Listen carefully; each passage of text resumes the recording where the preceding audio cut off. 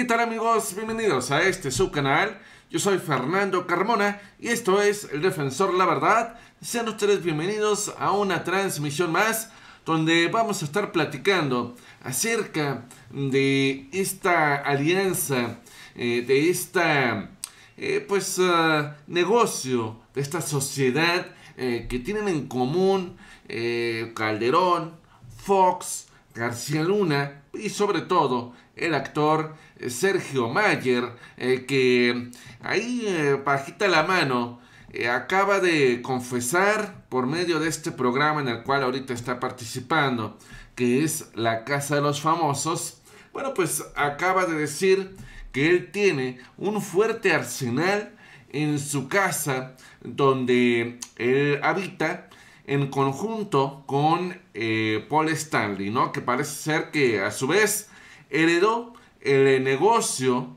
¿sí? que su padre comenzó años atrás, décadas atrás, cuando todos eh, conocimos la tragedia que ocurrió.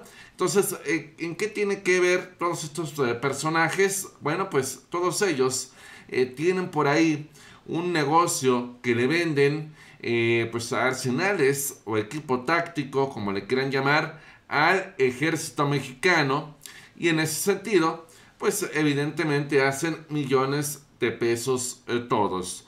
Y eh, pues hasta ahora no había sido descubierto hasta que fue grabado Sergio Mayer de manera eh, pues completamente equivocada. Fue, nunca se imaginó que sus declaraciones pudieran llegar a tener alguna pues relevancia. Y bueno, pues finalmente lo que echaron y aquí es donde va eh, toda esta historia es donde va toda esta situación que sin duda alguna pues va a tener mucha, pero mucha repercusión. En cuanto se conectan, bueno, pues hay que eh, conectarse, hay que eh, empezar a compartir. Vamos medio mal en cuanto a conectados, pero estoy seguro que vamos a poder llegar a muchas personas si ustedes me ayudan a compartir este, esta transmisión y para que juntos descubramos todo lo que hay detrás de esta eh, familia, por decirlo así. Entonces, bueno, pues fíjense lo que dice en esta nota que dio a comienzo todo esto. Sergio Mayer y Paul Stanley confiesan que tienen equipo táctico en sus, en sus casas. ¿Sí? Los dos están fuertemente fichados desde el momento en el que eh, pues eh, ahí estaban eh, cada uno por su lado inmiscuidos en la delincuencia.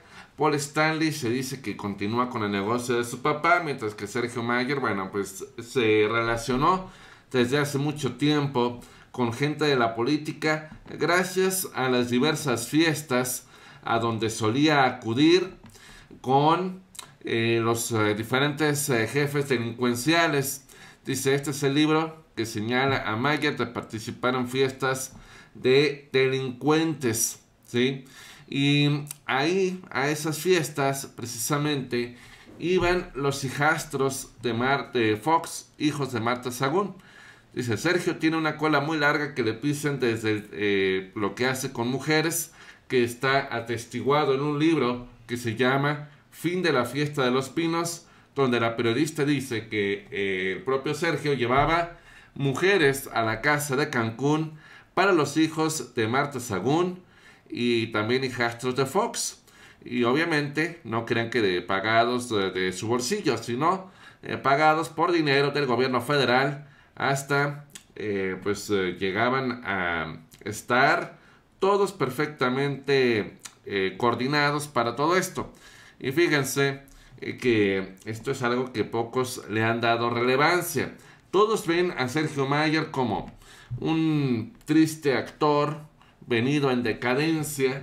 Todos lo ven como un actor que ya eh, pasaron sus mejores épocas. Todos lo ven así, ¿no? Cuando en realidad eh, estamos hablando de una persona que aparte de que fue diputado, no sé quién dentro de Morena pudo haberlo eh, apadrinado, ¿no? Cuando se supone que en Morena no tendrían por qué tener cabida este tipo de personajes, pero ustedes saben que de todas maneras, eh, pues esta gente pues es eh, de muy dudosa procedencia y quieren seguir teniendo el control. Y total que llegó a diputado, se metió en algunas problemáticas, pero desde los tres años que tuvo como diputado fueron suficientes para poder seguir tejiendo los negocios eh, que tiene con Calderón, ¿sí? Y por lo cual, pues la gente eh, pues, lo tiene ubicado perfectamente como un jefe delincuencial. Tan es así eh, que incluso hay que recordar, eh, pues no fue reelegido precisamente como diputado por todos los antecedentes que tiene. Y bueno, de esta manera se reunían en áreas muy privadas dentro de este antro, el Dario, donde se reunían estos dos hombres y obviamente no delante de medio mundo, sino que dice aquí, fíjense, el actor y exdiputado federal de Morena, Sergio Mayer y su esposa Isabela Camil fueron grandes amigos de, eh, eh, como dice aquí, Valdés Villarreal y Priscila Montemayor, con quienes compartieron muchas noches de fiesta y antros en diversas ciudades. Y el Daddy O estaba en Cancún. Eh, tengo entendido que ese antro es como hermano del que había en Cancún que era también muy parecido, nomás que ese creo que se llamaba Baby O. Y dice, anteriormente tenía una forma de caverna gracias a su concepto de haber surgido del mar Caribe y de esta forma traer la fiesta y el ambiente playero desde su origen. A lo largo de la noche hay diversos DJs que amenizaban la fiesta con música de distintos tipos, desde toda clase de música. Y obviamente ahí había una zona VIP donde se costaba 75 dólares por persona la, entrada normal y la entrada VIP donde sí había que consumir eh, no solamente alcohol sino otras cositas. La diversidad de bebidas que se servían pues iba de todo, ¿no? De todo se amanecían ahí, tan así que les llevaban chilaquiles y pues ahí todos, ¿no? Eh, también se habla de que en sus tiempos Fox llegó a asistir a estas fiestas y después eh, hubo eh, un tema ahí muy importante cuando se casa Sergio Mayer con eh, Isabela Camil, hija del poderoso empresario Jaime Camil Garza, que vendía pues, diferentes equipos tácticos al ejército y fue acusado de fraude fiscal en Suiza. El empresario Jaime Camil Garza, pues, pues como ya saben, hace poquito dejó de existir y eh, su yerno era Sergio Mayer.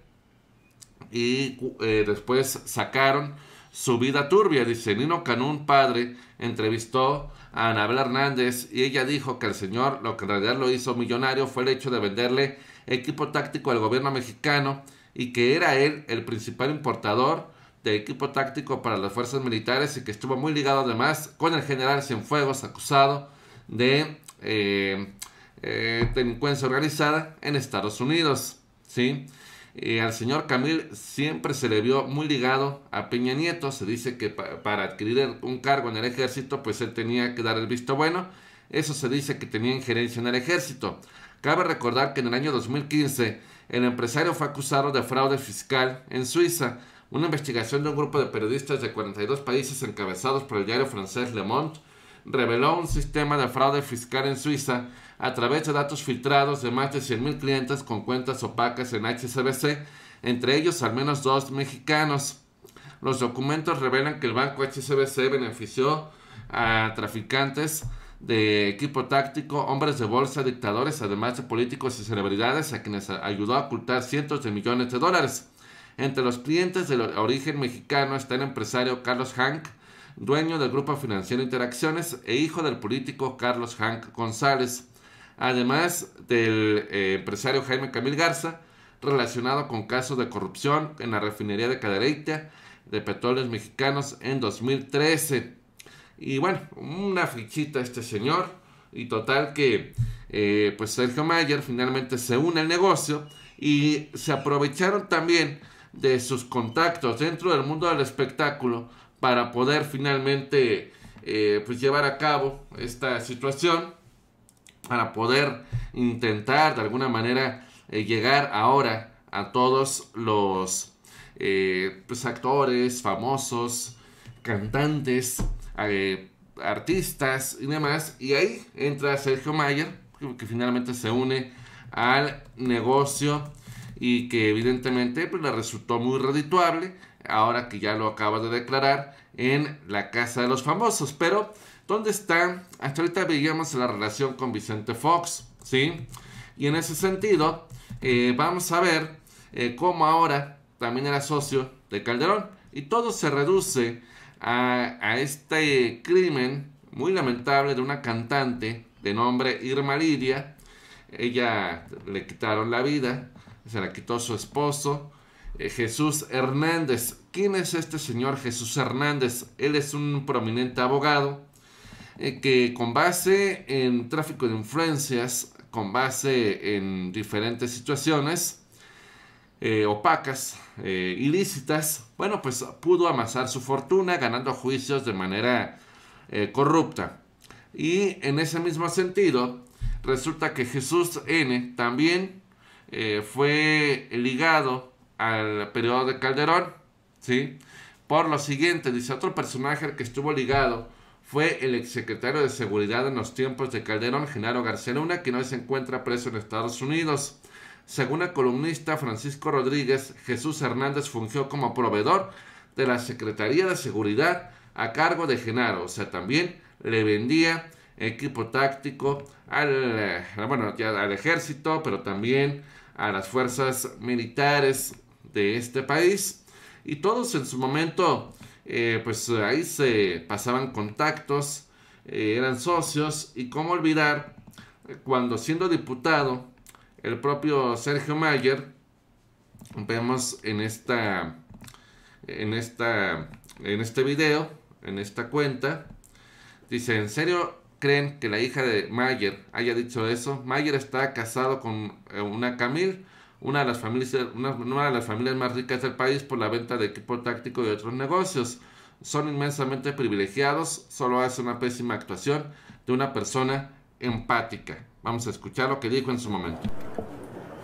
Y que eh, tenía que ver precisamente donde él quería eh, frenar esta inseguridad, cuando él es uno de los principales eh, ocasionadores de esto.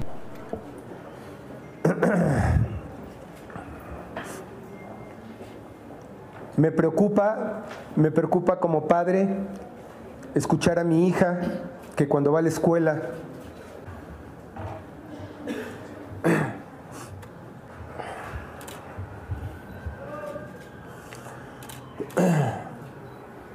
cuando va a la escuela nos pide que no olvidemos recogerla. Me preocupa que mi hija, mis hijas, no quieran salir al parque a jugar porque tienen miedo de ser violentadas. Es por eso que el día de hoy decidimos hacer esta conferencia de prensa para levantar la voz y no solamente criticar. Pues eh, la verdad es que se aventó un papelazo que ni en Televisa se lo hubieran podido dar, pero la culpa la tuvo también quien eh, lo impulsó finalmente como, eh, como diputado. Eh, ¿Cómo es posible que lo estuvieran solapando dentro de Morena cuando la realidad es que Morena no debería de impulsar ese tipo de perfiles? Pero bueno, eso es otra cosa. Ustedes saben que siempre hay muchos intereses alrededor, siempre hay ese tipo de situaciones, pero pues ahí está. La cosa es que bueno, se puede equivocar la gente a lo mejor una vez.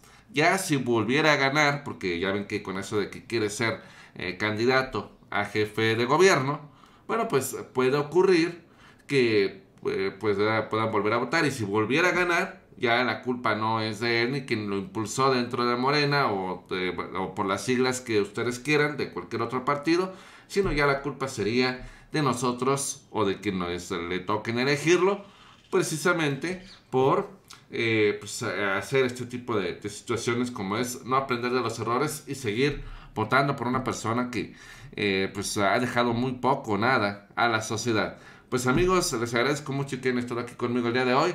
No se les olvide, video a las 10 de la noche. Mañana nos volvemos a ver a las 4 de la tarde para que eh, podamos traerles lo mejor de la política. Nos vemos hasta la próxima.